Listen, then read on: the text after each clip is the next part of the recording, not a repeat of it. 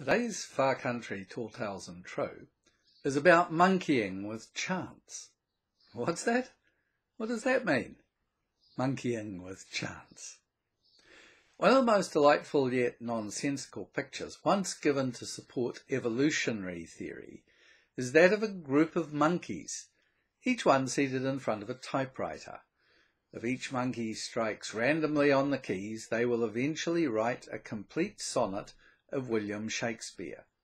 This will emerge as a result of pure chance.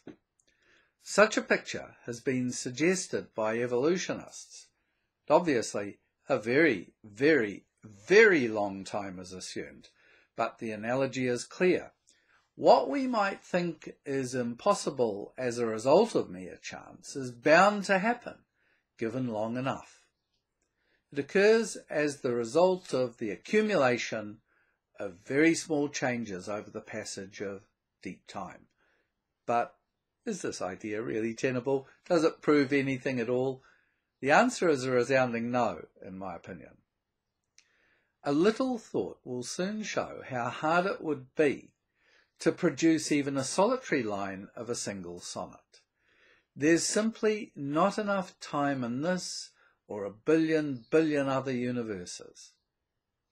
What's required here is an infinite length of time to do it, and that's a very strange and difficult ask indeed. The improbability is so great, in fact, the example's utterly unworkable.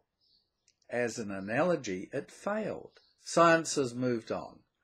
The ardent neo-Darwinist Richard Dawkins really didn't want to acknowledge the problem with the analogy in his book The Blind Watchmaker. He concluded his book by suggesting that evolution has the power to dissolve astronomical improbabilities and explain apparent miracles.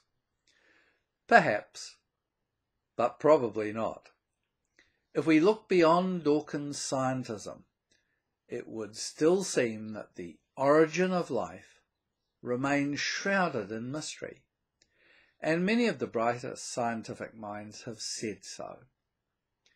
The mistake Christians make is to think that the Bible provides a credible scientific alternative. It does not.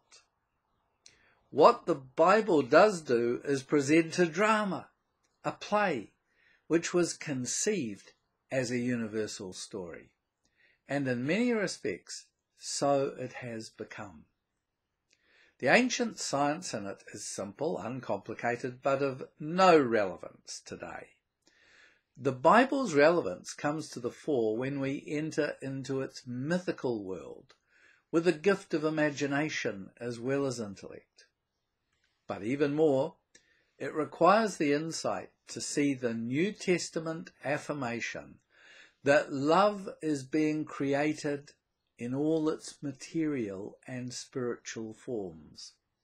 We have evolved to become that love's potential, but there's even more evolution to come in order to live up to the promise and the hope within.